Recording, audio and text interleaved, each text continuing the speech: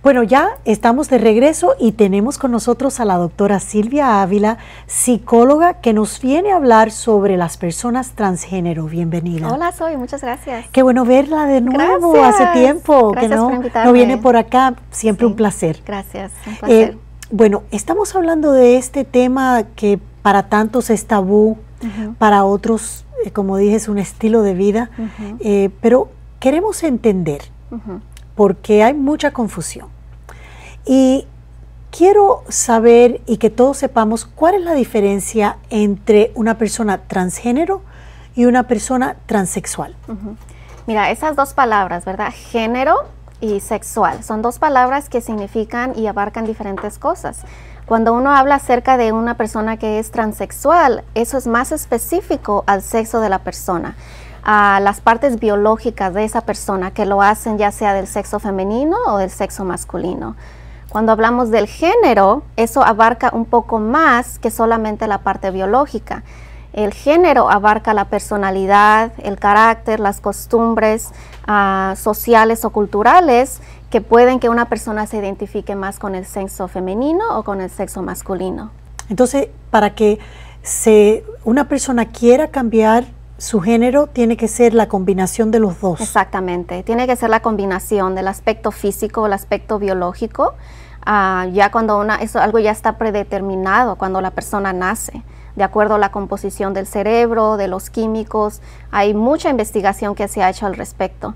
Ah, pero igual todavía falta mucha investigación. Pero lo que se ha determinado es que es un proceso interno, es un proceso ah, que la motivación viene de adentro pero igual es no solo lo biológico, pero lo psicológico, la personalidad, el carácter, las costumbres, la cultura. ¿Y cómo empieza ese proceso, doctora? Bueno, al principio cuando un niño, un niño nace, ya hay cosas que ya están predeterminadas con respecto a su sexualidad. Sin embargo, el niño se va desarrollando y va desarrollando su carácter, su personalidad, su costumbre. La sexualidad, el niño o la niña no, no va a darse cuenta de su sexualidad hasta un poco antes de la pubertad. Sin embargo, a veces con los niños que, que se identifican como transgénero, los niños se dan cuenta que algo hay diferente con desde ellos. muy pequeños. Desde pequeños, sí. ¿Y qué tipo de ayuda como padres le debemos de dar a esos niños? Los niños lo que más necesitan es aceptación, comprensión y entendimiento. Entonces, para los padres que se ve mucho ah, en este momento, ¿no? Que los niños, a veces varones, quieren jugar con, muñecas, con cosas femeninas, ¿no? Eso es alarmante a veces para los padres. Y yo les digo, no, no tienen que alarmarse.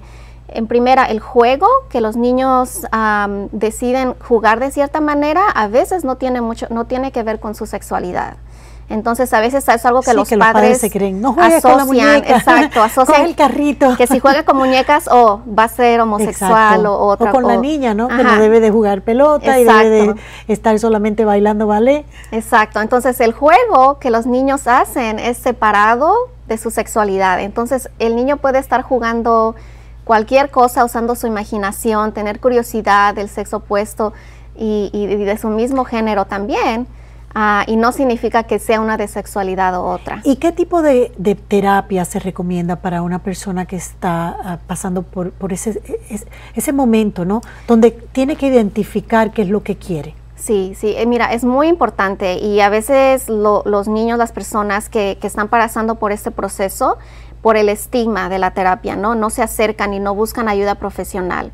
¿Por qué? Porque no se trata, el mensaje no es de que hay algo mal con ellos y necesitan terapia, sino al contrario, el mensaje es de que de ser una persona transgénero es bien estresante en esta sociedad. Eh, las personas van a pasar por situaciones bien difíciles. Hay mucha confusión acerca del cuerpo, hay mucha confusión acerca de la misma sexualidad.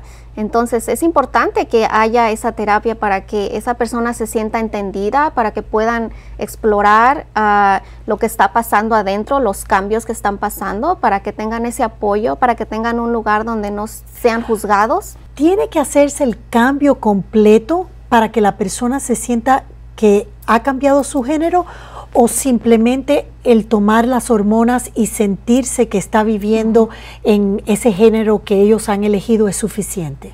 Depende de la persona, pero esa es una buena pregunta porque lo, lo pero todavía se consideran transgénero. Todavía se consideran transgénero. Sí, sí. Porque transgénero se refiere, abarca todo, el aspecto biológico, psicológico, mental y emocional, ¿verdad? Transgénero. Sin embargo, transexual solo abarca el aspecto biológico. ¿Sí me entiendes? Entonces, así de esa manera. Ah, y es bien importante, como dije, tu pregunta, que si es necesario pasar por el cambio, por la cirugía. No, no es necesario para que esa persona se considere transgénero. Ah, con respecto a la identidad sexual y la orientación sexual, Ah, hay que pensar que es una escala en vez de una categoría. No es de que si eres una cosa o eres otra. No, es una escala. Está un punto acá y un punto acá. Y las personas se pueden identificar en cualquier punto en la escala. Para una persona puede ser suficiente vestirse del sexo opuesto, tomar las hormonas. Y así se sienten cómodos y felices. Y otras personas necesitan hacer, todo, el hacer todo el cambio. Y, hay muchos puntos en medio, o sea, hay infinidad de opciones que las personas tienen que buscar eso por sí mismos. ¿no? Pero definitivamente el mensaje es aceptación, aceptación y tolerancia. Exacto.